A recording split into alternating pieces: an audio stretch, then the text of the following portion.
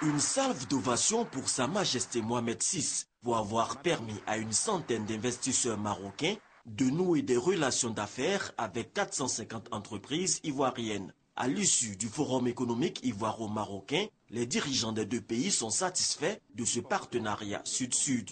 Pour eux, la Côte d'Ivoire et le Maroc doivent désormais marcher main dans la main sur les sentiers de l'émergence. Nos deux pays, le Maroc et la Côte d'Ivoire, ont des positionnements stratégiques complémentaires. Des vocations sous-régionales, voire continentales, qui pourront se développer mutuellement. Le Maroc et la Côte d'Ivoire sont en émergence. Ensemble, nous renforcerons le co-développement au service de toute l'Afrique de l'Ouest, ce qui nous permettra d'atteindre l'émergence espérée de manière plus puissante et plus rapide. Dans un monde globalisé, au présent forum économique du secteur privé, des pas de géants ont été accomplis dans tous les domaines économiques et sociaux. Avec l'enthousiasme qui nous anime de dynamiser l'axe Rabat-Yamsoukro, nous sommes convaincus d'arriver à travers des conclusions qui augurent des perspectives encourageantes à la consolidation du socle de notre grand partenariat gagnant-gagnant.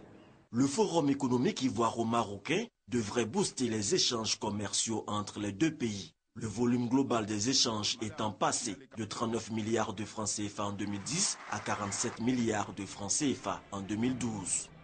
Accueil chaleureux des populations de Koumassi au roi du Maroc ce mardi après-midi.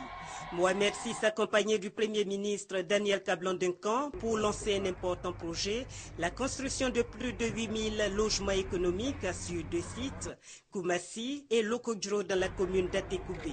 Nous allons construire à Lokodro un espace de 25 hectares et l'autre à Koumassi sur un espace de 3 hectares. À Lokodro, nous aurons 7500 logements et à Koumassi, nous aurons 530 logements. Nous vont investir 120 milliards. La construction des 8000 logements est confiée à un opérateur immobilier marocain en collaboration avec des entreprises immobilières ivoiriennes. Sur les 3 hectares de Koumassi seront construits des bâtiments de 4 étages et à Lokodro, un complexe résidentiel de 8 étages.